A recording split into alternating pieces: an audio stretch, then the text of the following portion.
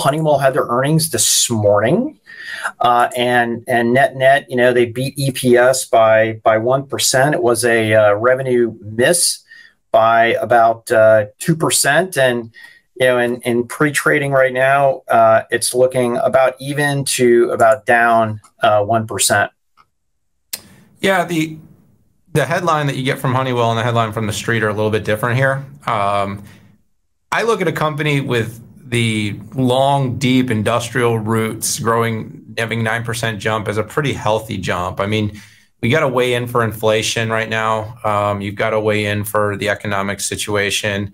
Uh, but this is another example, a little bit like Intel, where it's like you're still growing and that's good, but the street, um, we'll see how they respond. I think it's it's going to be less volatile for Honeywell Um, you know, the reason I think we keep coming back to Honeywell, besides uh, the fact that we've had the benefit of having a lot of access, being able to talk to their CEO Darius Adamczyk, working with their quantum team, uh, getting to know the Forge business, is that you know we we it's kind of a, a, little bit of a broken record, but it hasn't seemed to be fully appreciated by the market yet. Is Honeywell is an industrial company that's in in a significant transformation to a technology company. That's right. And so every time I, I look at the quarterly numbers, what I'm kind of trying to do is get an indication of how well that transition is going. And so when I looked at this quarter, you know, to me, you know, this is still a company that's very balanced. We've got uh, the quantum business uh, being spun off with CQC. Um, but you know, across it, you've got these uh, SaaS applications for safety and productivity. You've got Forge for the you know the edge and IoT for manufacturing. You've got the technology business for um, the buildings. Uh, you look at something like return to work, and where does a company like Honeywell fit in? And all I can say is, I mean, we're going to be absolutely hyper dependent. And then you start to look at areas like um, ESG, Pat, which you and I love to talk about. Um, and you know, when you start to think about how a building provides, uh, you know, uh, cleanliness, uh, environmental meeting environmental standards, um, safety for people who enter and exit these buildings, and the footprint that companies leave. Uh, you know, you, we're going to be looking to companies like Honeywell to be building solutions that are going to integrate with, uh, you know, I talked about ServiceNow last week, or Salesforce, or Microsoft, or Amazon, or any of these companies, or Google, who are building these ESG footprints.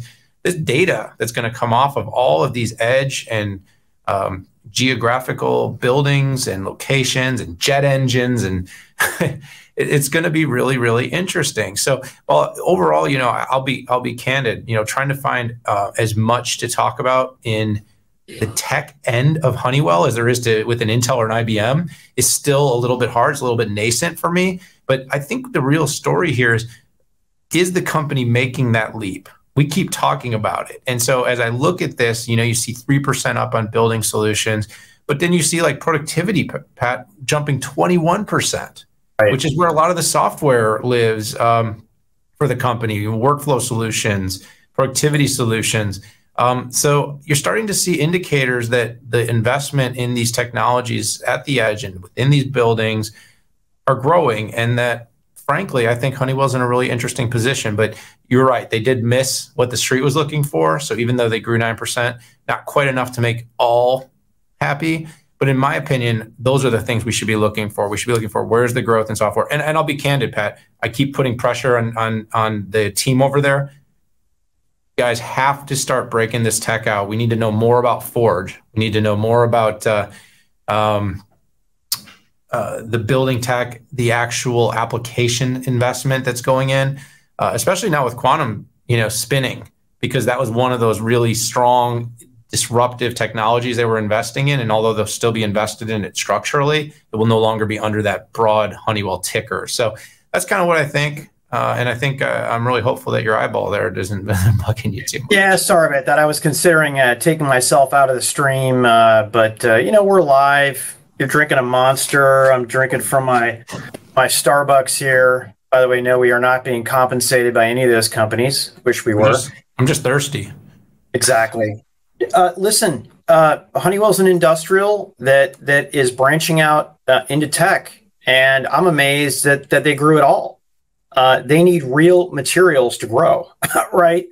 And guess what? We're, we're in a massive supply chain uh, challenge. So a lot of the things that that Honeywell has to make out there relies on the supply chain that is currently uh, completely uh, messed up, and not just electronics, but steel, right? Things like plastic uh, and and things like that. So, I am amazed, and, and I'm I'm looking forward to to the CQC Honeywell uh, merge and spin, and just to see kind of the value in. And I believe Honeywell is going to have 51 percent still uh, of that deal. So I guess it's not a full uh, necessarily a full spin, uh, you know, similar to something like a like a Kyndryl, but.